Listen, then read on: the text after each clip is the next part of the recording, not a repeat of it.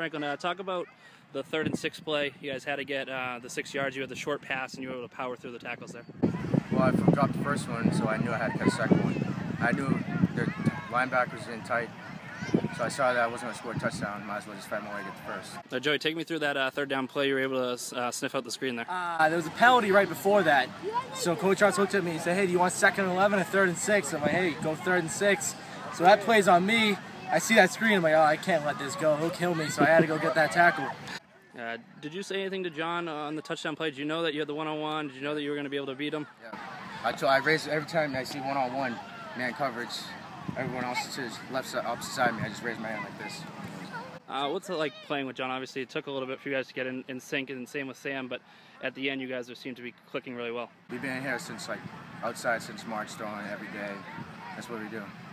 Uh, you look at the forced fumble. You guys were getting in on the quarterback, but kept eluding you, kept eluding you guys, and then finally you guys were able to come Yeah, up with the fumble. How big was that? He's a really good player, but hey, make him throw a bad pass, and that's it.